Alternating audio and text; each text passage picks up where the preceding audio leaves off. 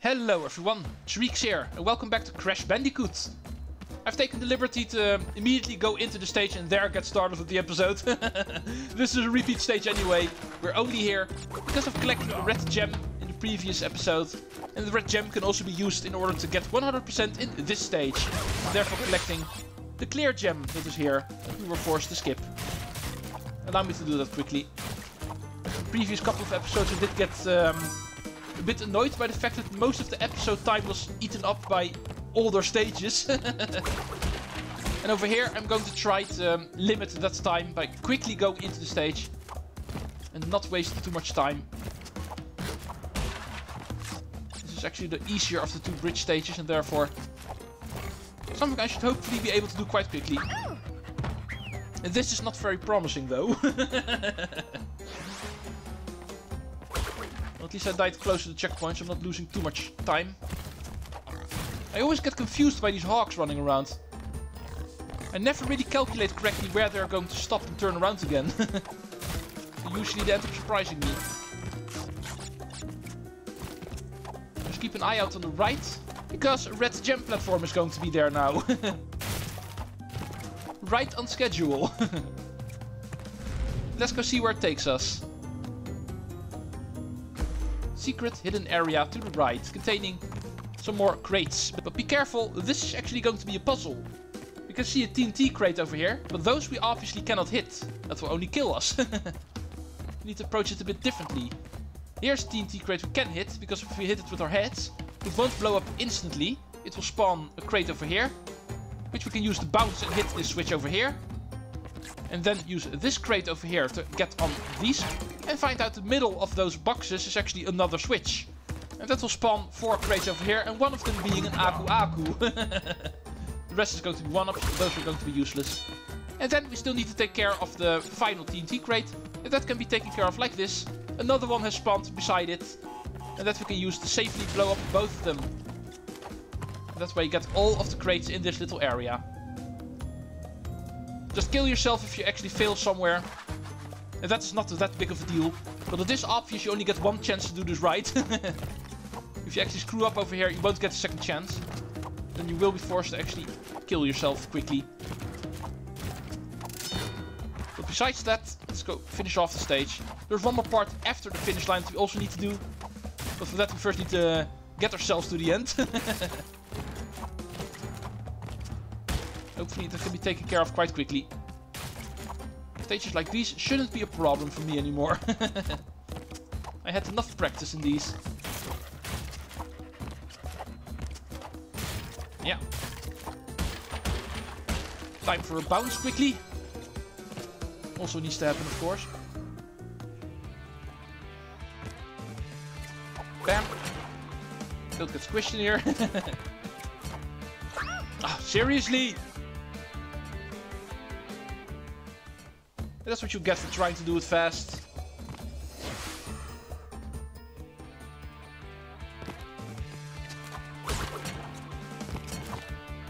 Jump at the final pixel. Apparently everything before that's not good enough.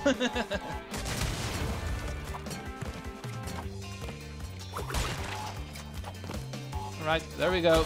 Bye Tawna. Bye Tawna. pretty sure I made that joke already in the earlier episode. well, final part of the stage. This first stage, the part with the turtles, was all the way at the end, as we may remember. And this is going to be the final challenge. There we go. Still missing two more crates. But that can be taken care of by the final platform that I promised you. Try not to step on the goal accidentally, because then you will still leave the stage without you wanting to. The Wumpa fruits are there to show you where the invisible platforms are, but even then you can actually miss them. well, dying is better than accidentally stepping on the ending platform. because this way you can at least try again.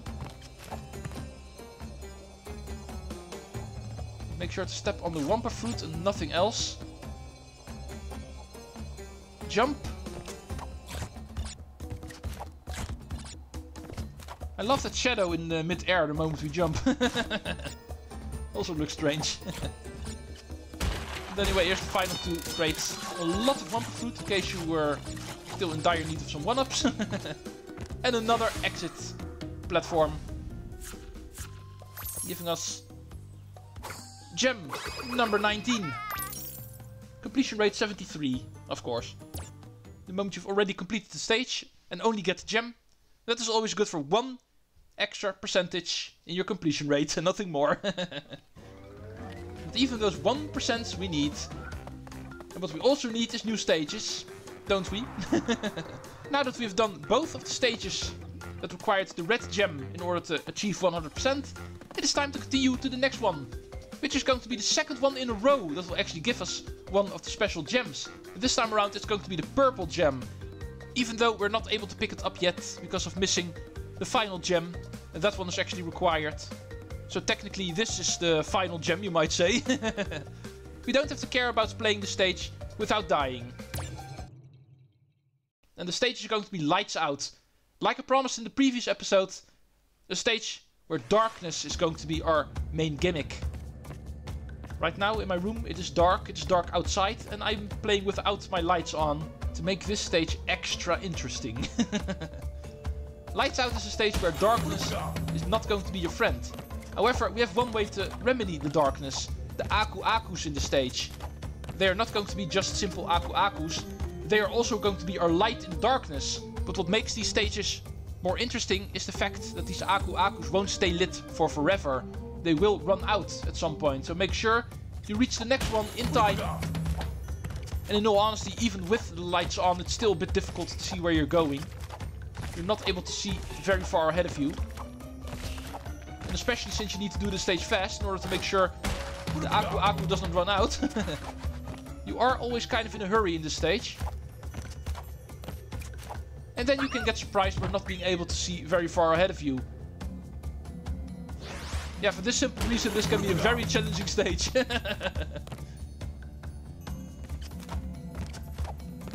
Eventually, still something I can do, I have no doubt. The second one of the stages is the one I'm really fearing. This first one shouldn't be a problem.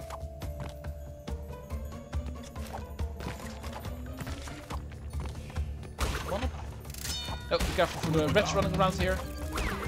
They have an evil red glow in their eyes, which is interesting, because those you can actually also see the moment the room turns dark again. Checkpoint. Oh, whoa, whoa, whoa. Oh, yeah, and make sure not to get hit. because the Aku Aku still functions as your extra hit. But if you lose this one, you also lose your light. yeah, and then you usually end up falling into the endless pits. Because you're not able to see where you're going anymore. Of course, in theory, you can still play. If you're able to know the stage from memory and actually make all of the jumps blindly. That would be a very uh, cool feat if you're able to do that, but uh, not me. Well, here we find the yellow platform. Platform for the gem that we are missing. And that one we need to pick up first. Oh, really? Oh. Should have more patience. That's something I'm usually really bad at at video games. Having patience.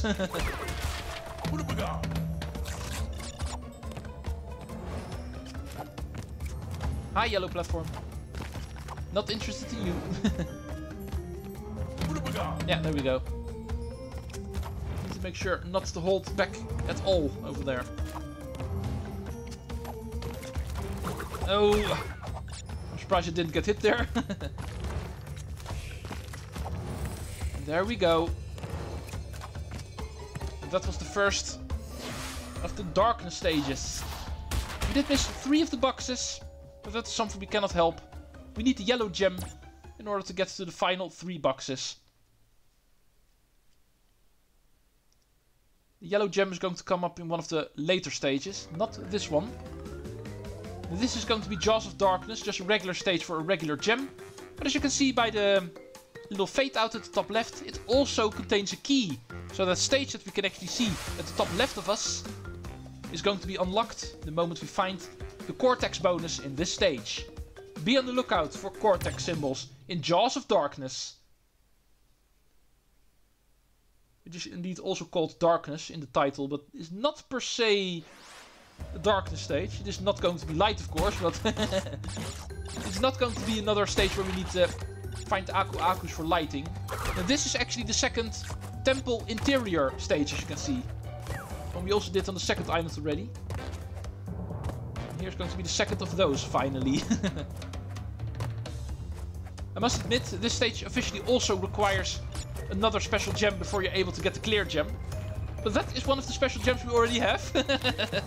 because the one we need here is actually the blue gem. And that one is already in our possession, as you may know. So for this stage we can indeed immediately go for 100%.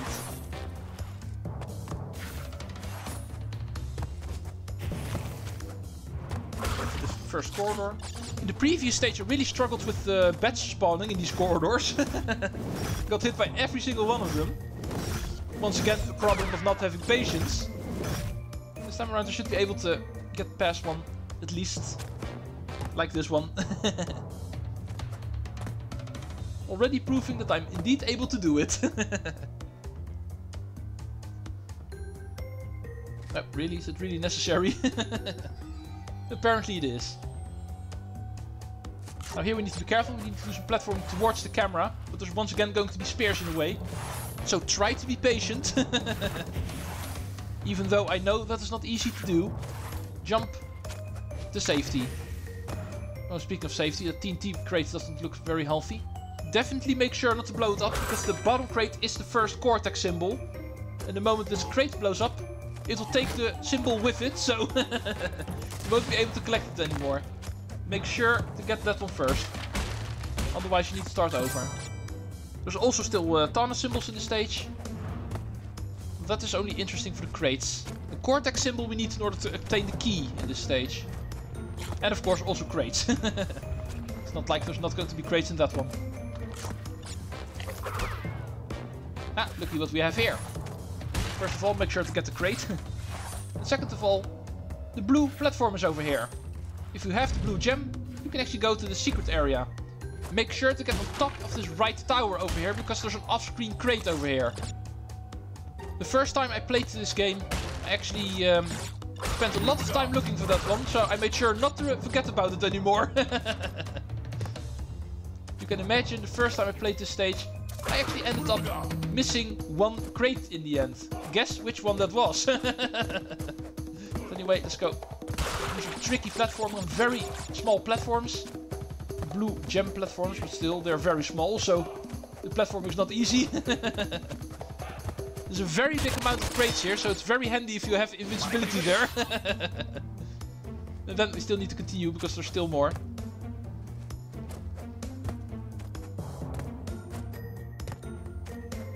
Crate, so be careful.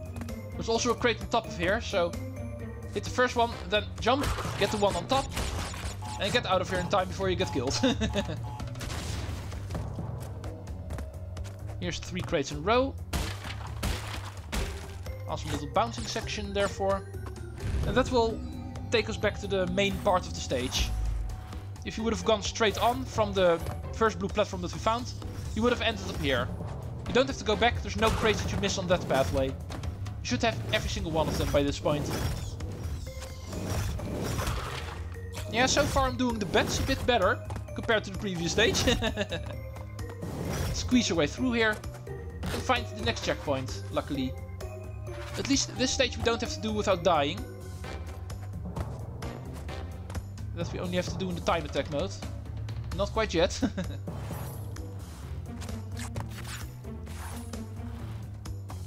patient. See, I can be patient. difficult for me to do, but I can do it. Sometimes. Alright, one word of caution yet again. The question mark you see here is once again going to be a Cortex symbol, so make sure to get it before this TNT crate in this stack over here gets a chance to blow it up. oh, that was too late. well, at least it was not too late for the Cortex symbol. And floating Wumpa fruit in mid-air, we should also know what that means by now. Had to deal with that plenty of times already. It's also where the final Cortex symbol is going to be right over here. And to spawn the bonus that will give us the key for the second optional stage in this game. Let's go see how difficult it is going to be. Bounce. Time this correctly because you don't want to go too early. You want to be away from the explosion, but also make sure the explosion has happened already so the boxes under you will have formed. this crate will blow up and hit switch, but also blow up everything else. So jump at the exact right time to avoid the explosion. And still land over here so you can get the crates that will form. Nice try, uh, Cortex. But I still got first try. Pick up the key. And we can leave. Still plenty of more crates to get. We also still have the Tawna bonus we need to find after all. Let's get on this platform over here. It's a bit difficult to see. This is our way back. And just like that other part, it has invisible platforms. Which we can use to get back to the main pathway. Get the stripe block first, and then hit the trampoline. Get the Tawna symbol number two. Third one is going to be near the end. Oh, speaking of end, I'm already done. Just not in the way I wanted to. Luckily the bonuses function as a checkpoint. Still think that is a good idea of this game.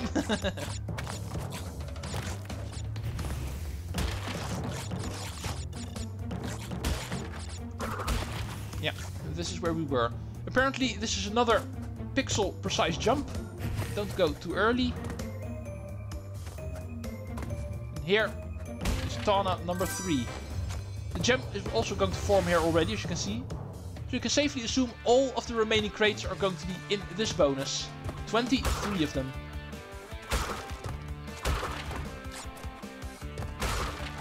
Oh, TNT crate. Let's go quickly.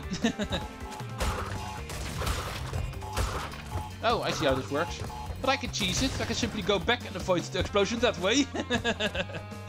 I think the intended way is to actually try to um, break your way through these towers in time before the TNT crates blow up. But you can simply avoid them by going backwards as well. and this way the bonus still becomes really easy.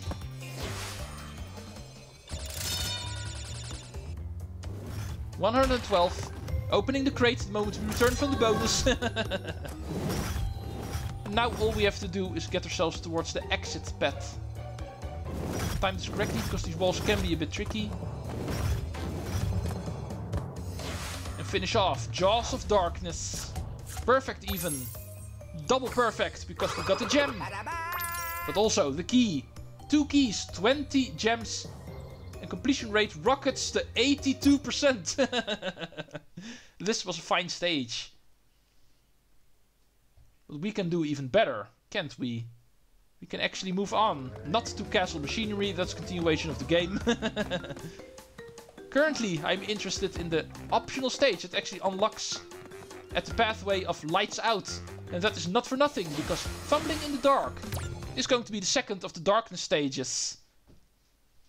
And as you may expect, this is going to be a far more difficult one. It is not optional for nothing. And it is not the second stage in this gimmick for nothing. first things first, go back from the beginning, because the first couple of crates are going to be hiding right over here. Even at the beginning of the stage, the stage is already tricky. Something we already saw at the second bridge stage as well. There they actually also pulled this trick. Can be a bit annoying if you die before the first checkpoint, because then you need to do this again. Just try to get to the first checkpoint before falling off the stage. At least we reach the Aku Aku in time. Oh! Let's not take any chances. Even though not taking any chances and therefore playing more slowly is also not a wise idea in a stage like this. because the Aku Aku is going to run out at some point.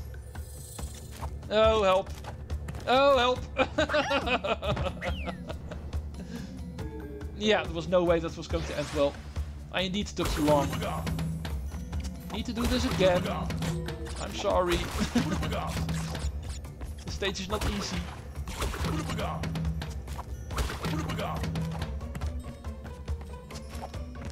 Stage 4 should play as a speedrun, even in the regular way. and this is not even a time attack yet. To be even worse there. I can remember whenever playing the game for the first time, when I actually went for the relics. This one took me over an hour, not not kidding. took me over an hour to actually clear this one. And I'm pretty sure I didn't even get the golden relic, I just got the sapphire one. this stage is so difficult to do fast. the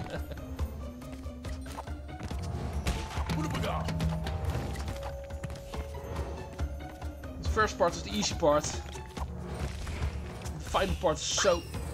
Oh. I'm calling this first part the easy part, what am I doing?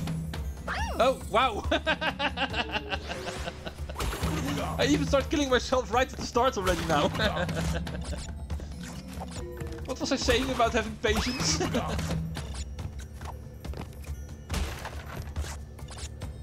and trying to do the stage correctly also requires a lot of patience because oh you can clearly see the first checkpoint is really deep into the stage. I got pretty far in that stage, yet still no checkpoint.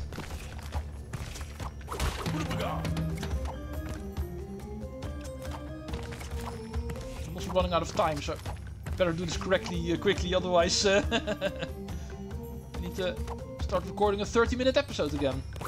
Because I wouldn't be surprised it actually takes me 10 minutes before I'm able to clear this one. this stage is so freaking difficult. Forcing you to do it fast. And that is something that is apparently not really working out for me, so... Um, yeah. I think I'm going to take my time next time it's not working out if we're trying to do it fast. Treecks out. See you in the next one.